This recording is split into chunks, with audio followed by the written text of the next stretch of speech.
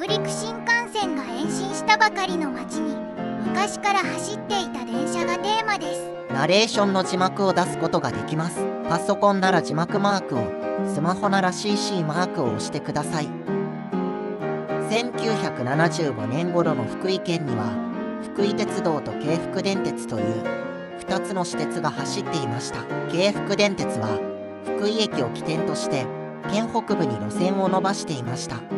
福井鉄道は当時の武府市と福井市内を結ぶ福部線をメインに県中部に支線を持つ鉄道です。ここは北陸本線福井駅。駅の東側に京福電鉄の福井駅が西側に福井鉄道の福井駅停留場があるよ。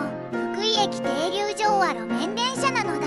福井の市街地を走る武府駅普通電車田原町駅福井新駅間約3キロと福井駅停留場へ分岐する比下線0.5キロが路面区間です。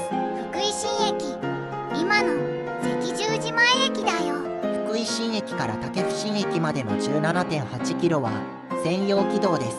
福井新駅付近を走る武府駅普通電車旧型車なのだ。福井新駅から約40分で武府新駅に到着しました。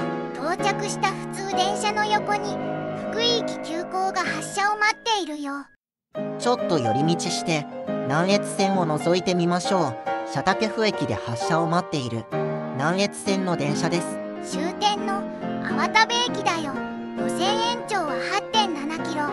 途中で北陸新幹線とクロスします。北陸本線の武府駅。今は第三セクター鉄道。ハピライン福井。になっています来庁に乗って大阪へ帰るよ。福井県の私鉄は枝分かれした支線がだんだん廃線になったけどメイン路線は今日も元気に運行しているのだ。